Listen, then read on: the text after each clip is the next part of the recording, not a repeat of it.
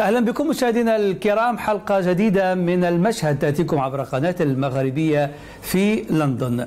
أعلن رئيس اللجنة الوطنية المستقلة للانتخابات في موريتانيا عن نتائج الانتخابات التشريعية والبلدية والجهوية وقد حصل حزب الإنصاف الحاكم على أغلبية الأصوات مهيمنا بذلك على معظم الدوائر البلدية والجهوية ومعظم مقاعد البرلمان. جاء هذا في ظل تشكيك مستمر من المعارضة في نزاهتها وشفافية هذه الانتخابات. نظرا للخروقات التي قالت المعارضة إنها رصدتها أثناء الانتخابات وخلال إعلان النتائج.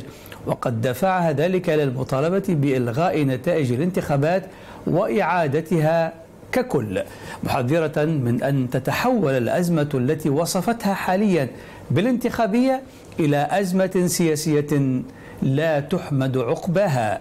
ونظمت نظمت الانتخابات في 62 دائرة برلمانية و13 دائرة جهوية و238 دائرة بلدية بمشاركة 25 حزبا سياسيا.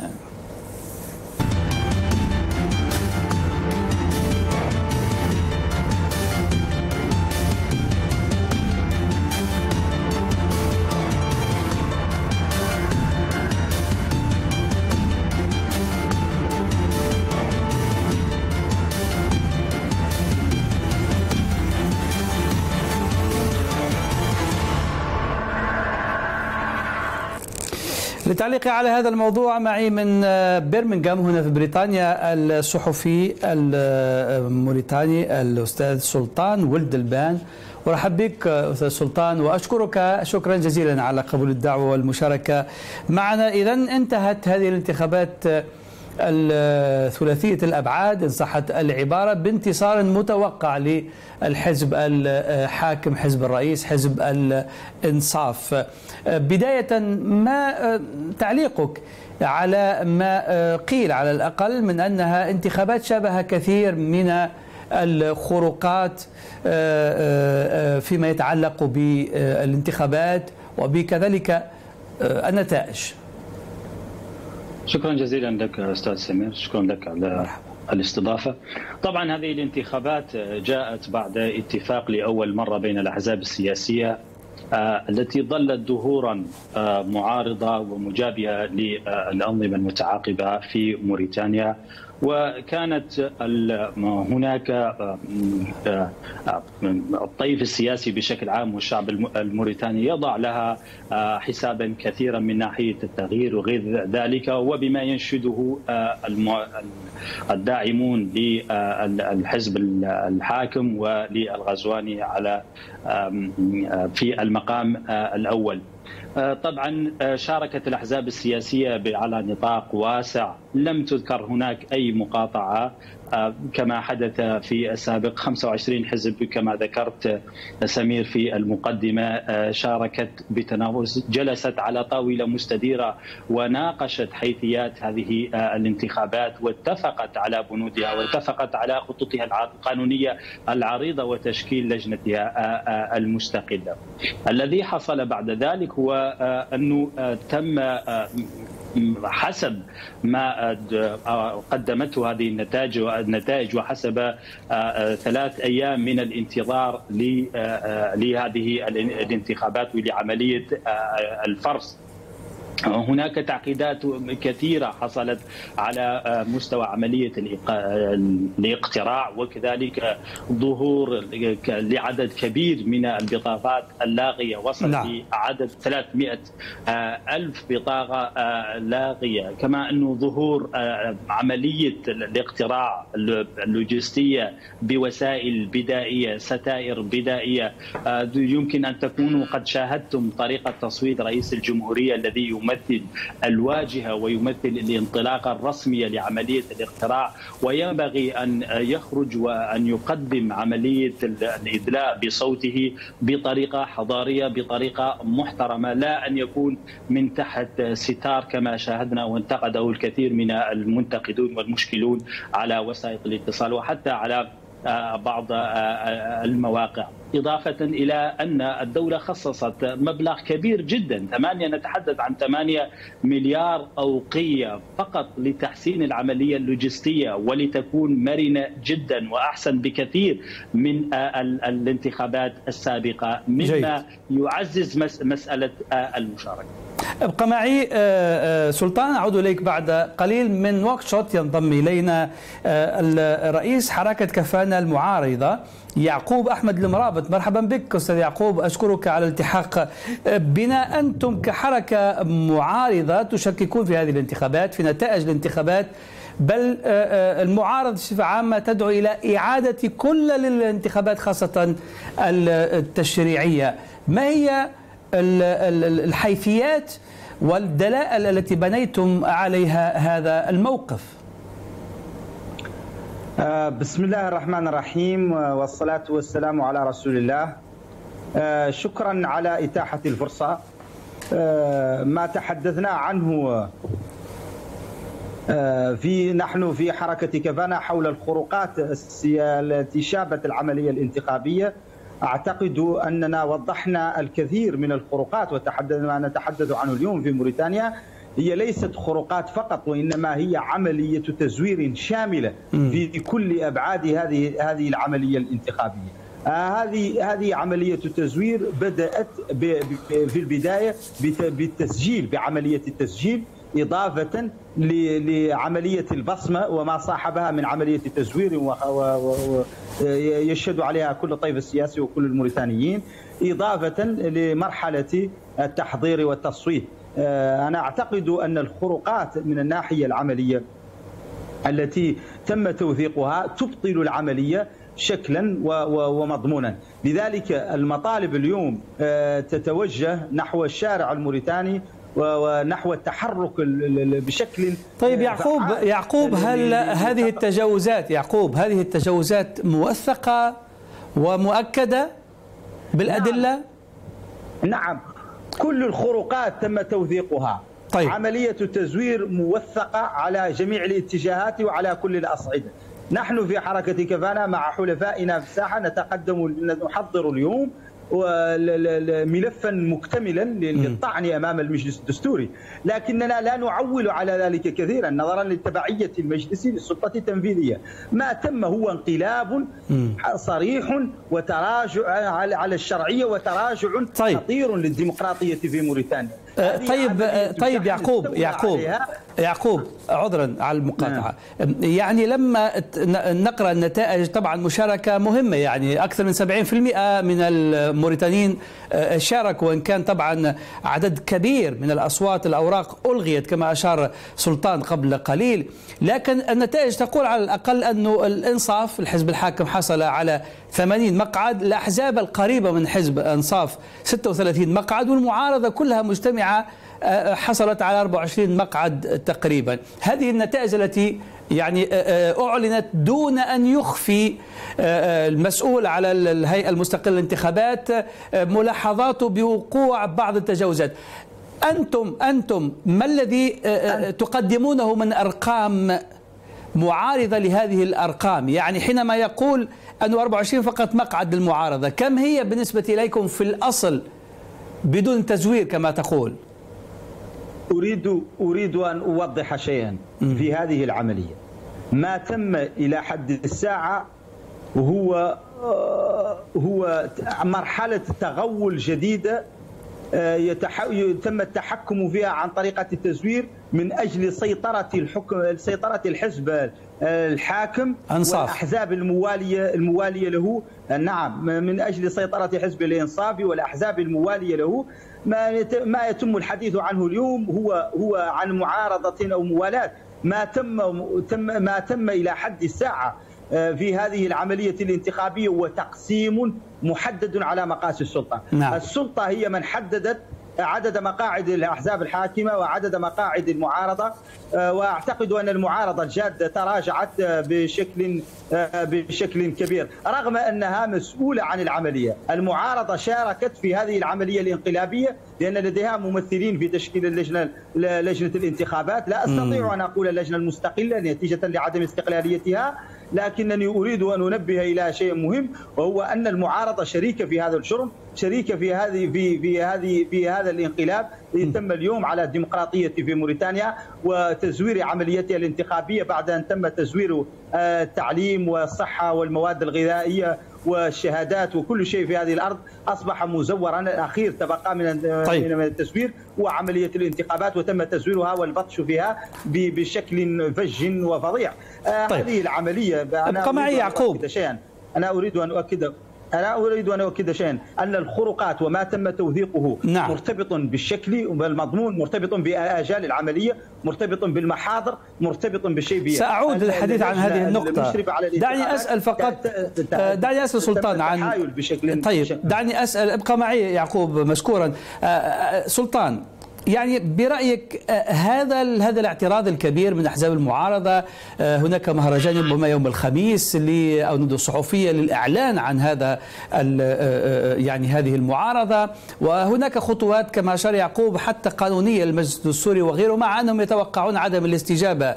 طيب الآن هذه النتائج المطالبة بإلغائها هل هناك إمكانية فعلا لأن تراجع السلطة هذه النتائج وبالتالي تستجيب لمطالب المعارضة حتى تبقى المسألة خلافية حول نتائج الانتخابات ولا تتحول إلى أزمة سياسية في البلاد كما حذرت من ذلك المعارضة؟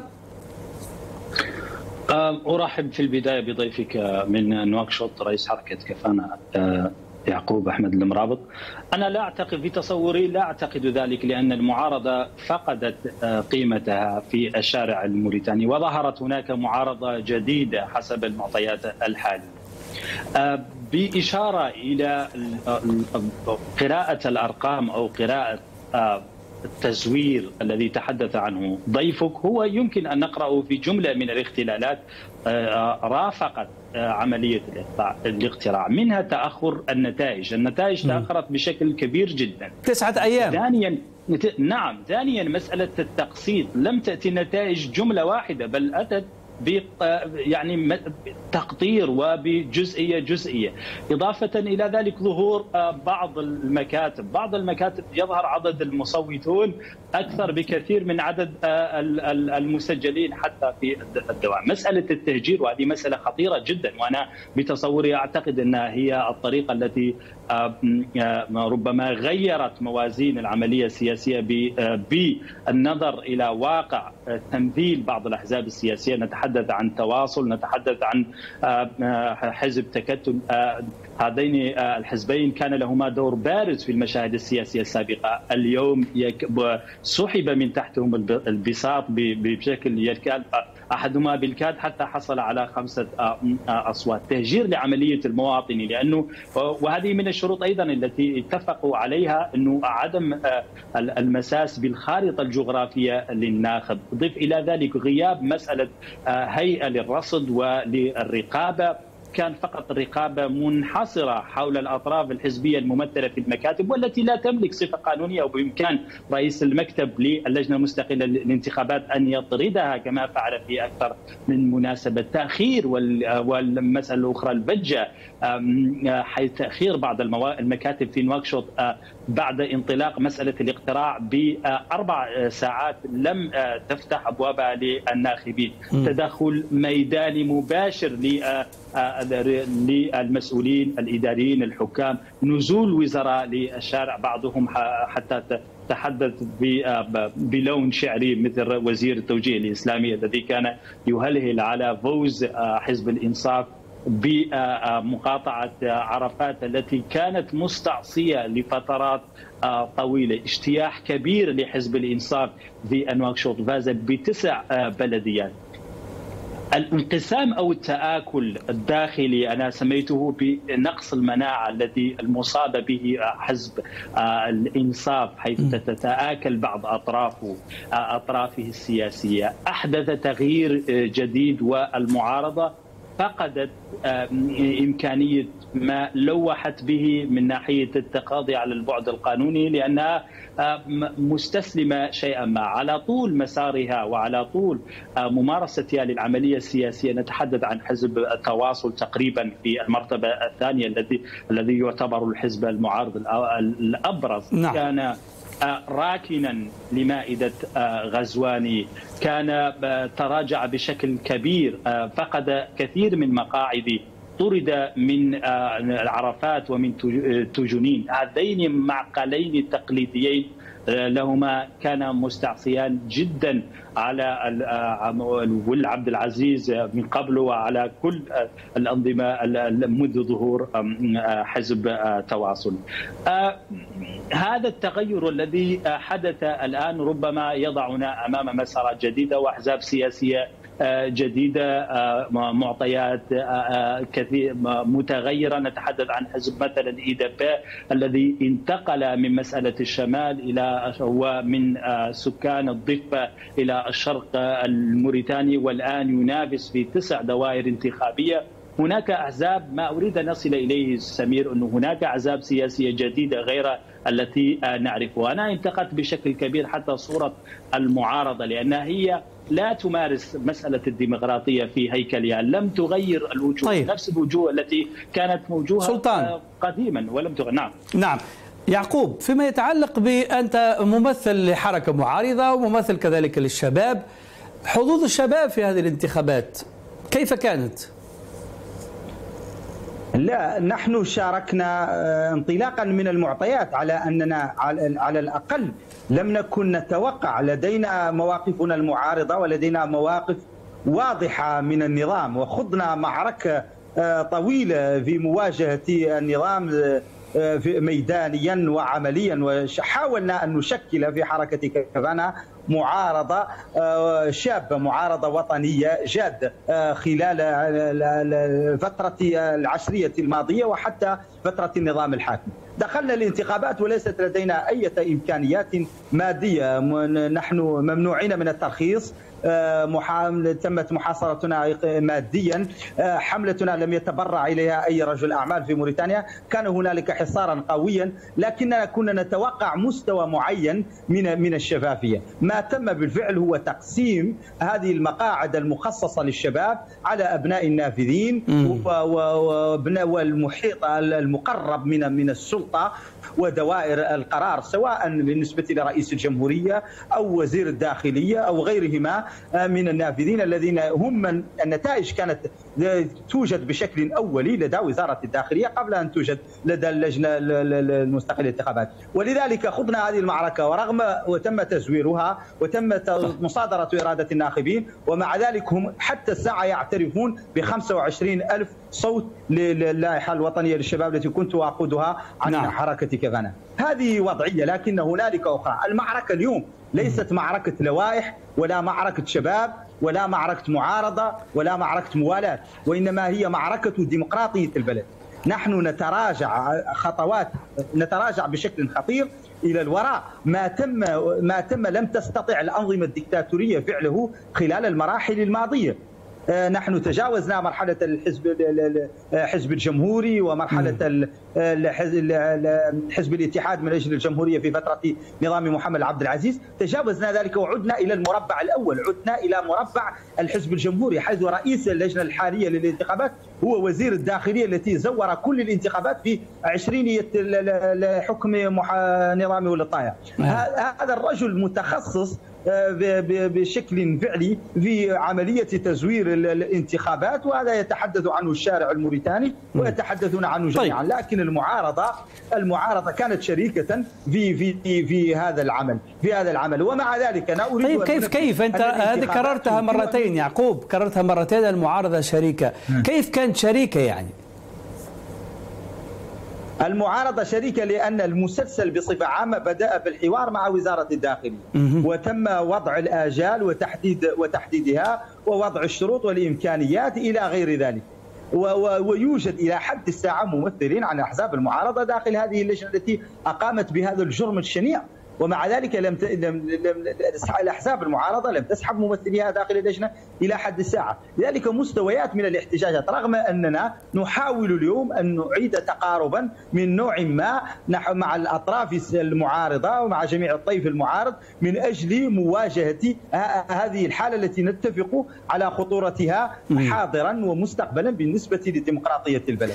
طيب يا طيب إلى مساله نريد أن أنبه من خلال منبركم إلى فضل. مسألة غايه في الخطورة. ان كل الاهتزازات كل الاهتزازات التي وقعت في العالم العربي وقعت حتى في الدول بعض الدول الإفريقية كان سببها هو هذا الانحناء هو تغول الأحزاب الحاكمة على كل آه، النتائج السياسية عن طريق تزوير الانتخابات وعن طريق النفوذ وعن طريق المال السياسي. وهذا ما تم بالضبط في هذه الحالة الموريتانية. نحن اليوم ما نخشاه ونقف أمامه بشكل صريح وواضح هو أن نتوجه بالبلد إلى ازمه سياسية وهذا يولد هذه عملية الانتخابات إذا استمرت أعتقد أنها ستولد تفاقما خطيرا في أزمة سياسية قد لا يحمد تحمد عقباها لا على مستوى الاستقرار الداخلي طيب على مستوى دعني أسأل تحديدا في هذه النقطة يعقوب. دعني أعود في هذه النقطة.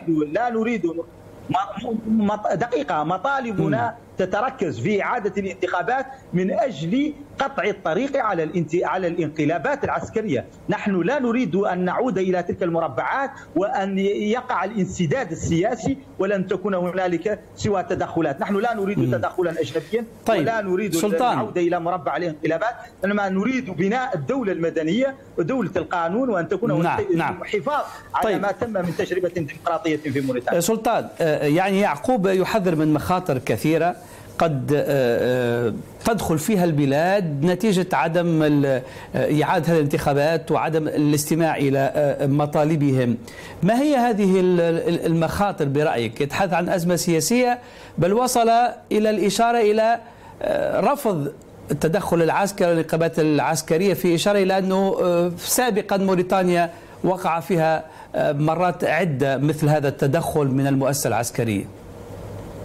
محق جدا في هذه النقطة وأنا أتفق معها تماما لأنه ليس فقط آه، الأمثلة التي ضربها على مستوى الخارطة الإفريقية بل حتى في الولايات المتحدة الأمريكية تتذكرون الانتخابات حين اقتحم أنصار ترامب المجلس الكونغرس الكابتن آه تماما في آه، دولة مثل موريتانيا في وضع جيوسياسي ساخن هناك تهديدات باغنر حوادث نشهد هذا الأسبوع آه، في الشرق الموريتاني. لوح بذلك المواطنون الموجودون الموجودين حتى الآن خلال الانتخابات وحاصروا وخرجوا في فتقه في آه، عد البقرو في فصالة آه، كل هذه المعطيات إضافة إلى استغلال بعض الأطراف السياسية ربما لأجندة خارجية أو حتى المؤسسة العسكرية التي طالما كانت تجد فرصة أيضا في مثل هذه الأزمات وإنه آه، تعتبر أنا شخصيا أعتبر الانتخابات قنبلة موقوتة إذا ما تم التعامل معها وإذا كسرت آه، إرادة الناخب وإذا ما سارت إلى نهج غير يعني غير الذي ترغب في الأطراف السياسية. خصوصا أن غزواني طالما تحدث إلى الشعب الموريتاني منا بالتغيير وبالديمقراطه وبالحوار وقدم الكثير من التعهدات والالتزامات ومنها الاحترام. واليوم يتغنى الكثير من آه، آه، أنصار حزب الإنصاف بأنه كان على مسافة متساوية مع الأطراف السياسية، ينبغي أيضا أن يدرك حجم هذه المخاطر وعلى الأقل أن يعيد الانتخابات حسب وجهة نظري آه، إذا ما توفرت الشروط القانونية الكافية وعلى الأقل إجراء تحقيق في مثل هذه الادعاءات التي تحدث عنها ضيفك وتحدثت عنها أطراف سياسية كثيرة. واتفقوا عليها جملة واتفق عليها جميع الأطراف السياسية التي كانت تشارك في العملية آه، الانتخابية. على الأقل في بوتيليميت في بعض دوائر نواكشوط في آه، في آه، تنبتقى. هذه الأماكن التي تشكو من عملية ما سموه بفتح أقفال. تصور أن يقوم بفتح أقفال في خارج وقت الدوام تصور حتى أن يخرج شخصية منسق يحمل فقط صفة منسق لحزب الإنصاف ويعطي أوامر للجنه المستقلة للانتخابات الانتخابات هو ليس طرفا فيها آه، أن يقوموا بفتح الأبواب المكاتب للناخبين حتى بعد إغلاقها بالأجل القانوني آه، المعتمد. بأي صفة يتحدث آه، منسق حزب الإنصاف على في ولايه نواكشوط واللي جاي عن عن عن إغلاق المكاتب أو فتحها خارج إطارها القانوني وبأي صفة، هذه الممارسات الفجة وهذه التجاوزات هي فعلا تستوجب تحقيق تستوجب تستوجب نظره دقيقة من أجل فحص هذه العملية. طيب برأيكم أستاذ يعقوب إذا لم تستجب السلطة لهذه المطالب ما هي الخطوات يعني المتوقع الآن مهرجانات وبيانات تنديد أم ممكن هناك خطوات أخرى عملية في إطار طبعا القانون والسلمية؟ نحن متمسكون متمسكون بحقنا في هذه العملية ولذلك ننطلق من رؤية واضحة. المسار نحترم كثيرا المسار القانوني لذلك سنتتبع المساطر القانونية. سنقدم الطعون في آجالها أمام المجلس الدستوري. سنقدم إن شاء الله سننظم مع مع حلفائنا يوم الأربعاء القادم آه، مؤتمرا صحفيا لشرح الاختلالات ووضحها وتوضيحها أمام الرأي العام الاختلالات الفنية الاختلالات التي شابت العملية اختلالات عدم التطابق في المحاضر ما بين المحاضر المسلمة لممثلين الأحزاب وممثلين الرقابة وما تم إعلان عنه وما تم الإعلان عنه من قبل اللجنة على نعم. موقعها الرسمي هذه الاختلالات وما شابه إضافة لتوثيق كل العمليات ونعد ملف مكتمل للطعن أمام المجلس الدستوري في آجاله القانونية. ومع ذلك نعد كذلك ملفا آخر مكتمل يوثق التصريحات والعمليات والموثقة أثناء العملية وما شابه كذلك من فروقات سنقدمه للبعثات الدبلوماسية وللهيئات آه، الدولية كل هذه الاختلالات طيب. سنصاحبها كذلك بالعديد من الاحتجاج آه، السلمي نحن نحن في حركة كفانا دعاة سلمية لا نتحرك من منطق جيد. طيب آه، يعقوب ابقى معي الآن لأنه الوقت يعقوب انتهى الوقت بس الضيف من موريتانيا المفروض أن يشارك في البداية لكن لأسباب ربما فنية تأخر محمد سالم ولد الداه النقيب الصحفيين السابق. ورحب بك أستاذ. يعني الآن هذه النتائج التي يعترف بها السلطة وتقول أنها تمثل الإرادة الشعبية والمعارضة تقول أنه لو مضينا فيها سنكون نحن اليوم في موريتانيا أمام أزمة آه، آه، سياسية. ما هو المخرج بالنسبة إليك أستاذ محمد سالم؟ أهلا وسهلا بكم وشكرا على هذه الاستضافة. على كل حال أنا فيما يبدو أني جئت متاخرا وما سبقني من الحديث لا أعرف كيف كان اتجاهه. على كل حال الانتخابات الأخيرة جرت على كل حال بعد تشاور ما بين الأحزاب السياسية المعارضة والأغلبية أو ما يسمى بالأغلبية مع وزارة الداخلية واتفق الجميع على تشكيل لجنة يسميها لجنة وطنية مستقلة للإشراف على هذه الانتخابات. لكن فيما يبدو أن هذه اللجنة وجهت إليها السهام من الطرفين. الطرفان يعتبران اللجنة آه، لم تقم بما ما يجب أن تقوم به من حيث تدقيق النتائج وحتى من حيث آه، اختيار وتكوين المراقبين على هذه الانتخابات وحتى الاحزاب نفسها أيضا شاركت ربما تكون شاركت في ذلك لأن آه، على الأقل في العاصمة هناك يعني من خلال تشغلنا كمراقبين لهذه الانتخابات اكتشفنا أن الأحزاب أغلبها أو جل هذه الأحزاب ممثلة في بعض صناديق الاقتراع التي زرناها. على كل حال هذه النتائج فيما يبدو أن انها لم لم لم, لم تنتج توافقا لأن الذين شاركوا فيها آه، أغلب الذين شاركوا فيها خاصة من أحزاب المعارضة وخاصة من أحزاب المعارضة التقليدية يشككون في النتائج ويعتبرونها نتائج آه، مزورة وطالبوا رئيس الجمهورية بدورة إلغاء هذه الانتخابات لكن فيما يبدو رمى الكرة نعم. نحو اللجنة الوطنية المستقله للانتخابات وهي اللجنة التي قلت سابقا أنها مشكلة من طرف الأحزاب. اذا نحن في وضعية على كل حال آه، ليست آه، مريحة نعم. ما دامت هناك أحزاب وهناك قوى طيب. سياسية أقول إن هذه الانتخابات قد شابها آه، بعض نعم. أو شابها أستاذ محمد سالم الحكومة الحكومة الموريتانية لحد الساعة من خلال نصها الرسمي لم تتحدث عن عن عن عن عن إعلان اللجنة الوطنية المستقلة للانتخابات. وذلك طيب طيب أستاذ محمد سالم ولدانا مضطرا أن هنا لأن الوقت فعلا انتهى تجاوزنا قليلا لكن سنعود في خلال هذا الأسبوع وإن شاء الله المرة الجاية تكون معنا من البداية لأنه رايك مهم لأنه يبدو انه رأي وسط بين ما كنا آه، نسمع آه، آه، قبل قليل من باقي الضيوف مع كل اسف لم نتمكن من سماعه خلال أو في سياق هذا الجزء. لكن الأسبوع هذا إن شاء الله ستكون معنا مرة أخرى لأنه مهم جدا أن نفهم ماذا يجري بالتفصيل وما هو المستقبل الذي تواجهه موريتانيا بعد هذه الانتخابات التي وصفها البعض بأنها مصيرية ومهمة بل حتى تاريخية في توصيف البعض الآخر. أشكركم جميعا ضيوفي الكرام سلطان دلبان الصحفي من برمنغهام يعقوب أحمد المرابط رئيس حالة كفانة وكذلك أستاذ محمد سالم ولد الداه نقيب الصحفيين السابق. شكرا جزيلا لكم وفاصل مشاهدينا ثم نعود.